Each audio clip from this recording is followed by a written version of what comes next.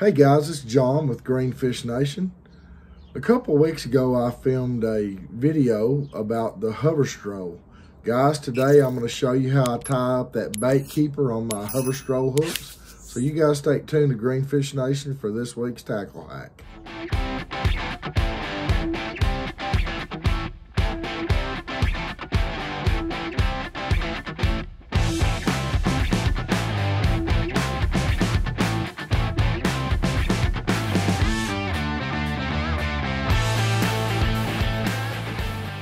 Right, guys, you can see here I've started off with a uh, just a standard jig hook.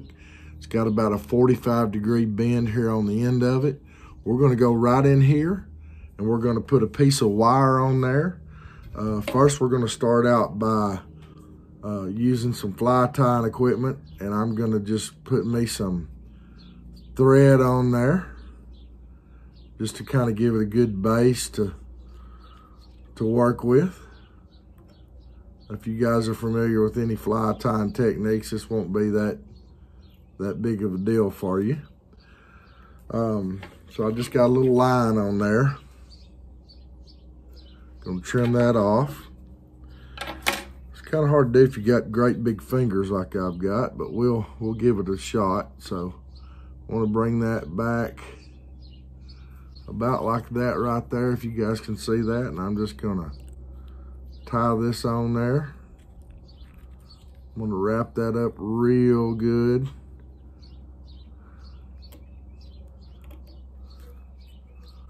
Probably got the wire a little long on this one, but you you guys get the idea.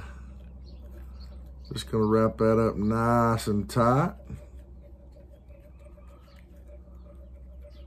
And this is gonna help keep your uh, keep your lure in place. Just give it a couple whip finishes there. I'm using just a two strand uh, fly tying thread. And what I like to do after I get that tied up, a couple little whip finishes on it. Just trim my thread off. Then I like to take a little bit of this uh, this gel glue uh, and I give it a little squeeze on there.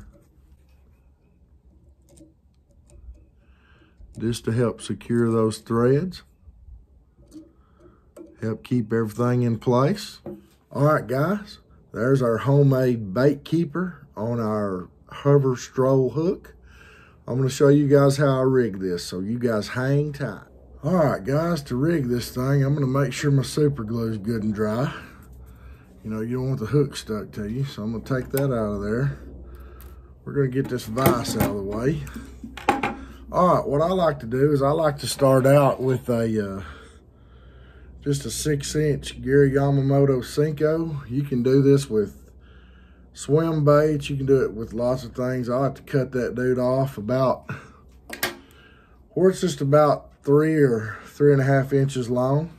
I like to use these little uh, Neko weights and I like to push one of those here in the head of that thing. See that there on the end. Leave a little bit out that way you can tap it on the bottom or on rocks or whatever if you got some brush. And when I put this hook in, I want to come back about, oh, a half inch or so, and I'm just going to go right underneath the, the skin here. I'm gonna push that up on there and I'm gonna come out and I'm gonna push my bait up on there.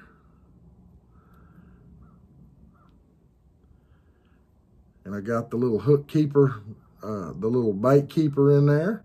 I got my hook exposed. Uh, this will keep your, your bait from sliding up and down on your hook, as you can see. You'll get lots of fish and lots of cast out of this.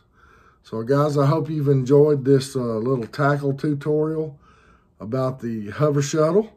If you have any questions, leave me a comment below. If you haven't subscribed to our channel, just click that little subscribe button there. We'd really appreciate that. Until next time, I'm John with Greenfish Nation. I want to wish each and every one of you tight lines.